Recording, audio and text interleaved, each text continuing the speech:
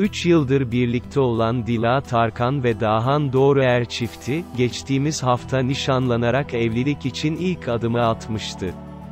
Aileleri ve yakın dostlarının katıldığı bir tören düzenleyen ikilinin mutlu pozları sosyal medyadan paylaşılmıştı. Hayatlarını birleştirmek için hazırlıklara başlayan Dila Tarkan ile Dahan Doğruer'in düğün detayları ortaya çıktı.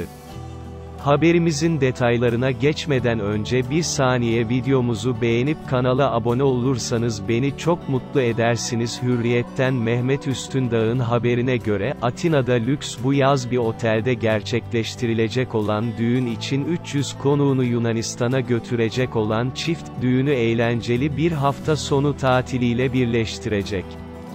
Tek bir düğün eğlencesiyle yetinmek istemeyen Dila Tarkan ve Dahan Doğruer çifti de düğünlerini hafta sonu boyu kutlayacak.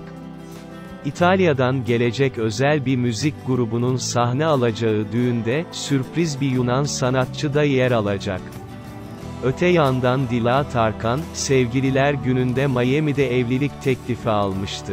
Sevgilisinin teklifine evet diyen Tarkan, o anları, her şey tam burada başlamıştı, notuyla sosyal medya hesabından paylaşmıştı.